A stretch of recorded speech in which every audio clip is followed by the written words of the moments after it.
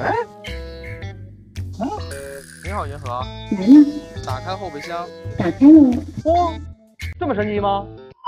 今年六月，号称迄今为止最香的新一代电混 SUV 银河 L7 上市首月销量就达到了九千六百七十三辆，一个月近一万辆的销量，很明显 L7 成功了。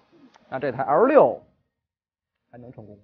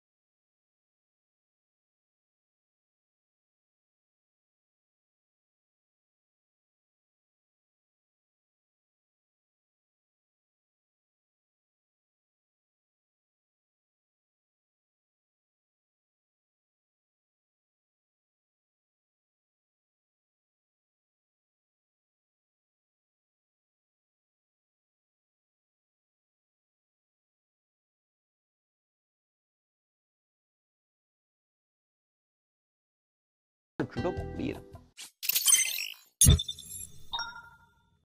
那说完了智能化部分呢，咱们再。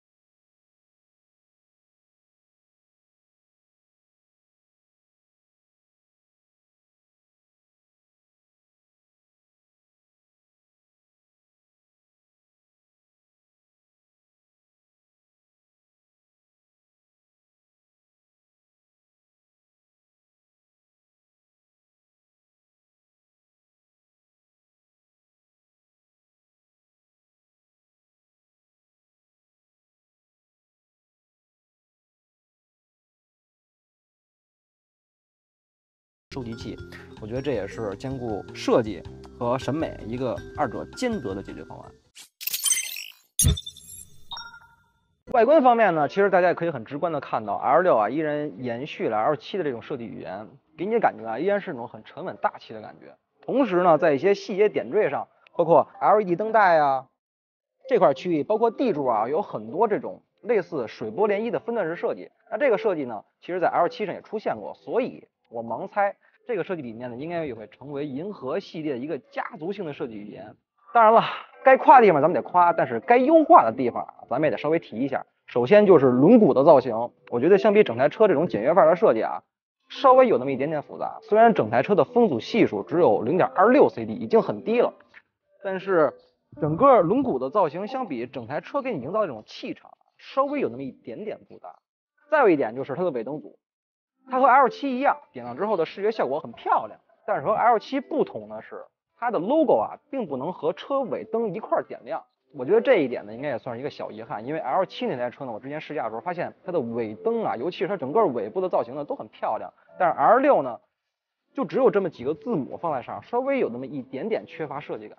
如果能做到跟 L7 去看齐，我觉得这台车的外观设计啊，基本上就已经非常完美了。虽然从命名方式上来看啊，可能很多人会误认为 L6 呢，相比 L7 在定位上要矮半个级别。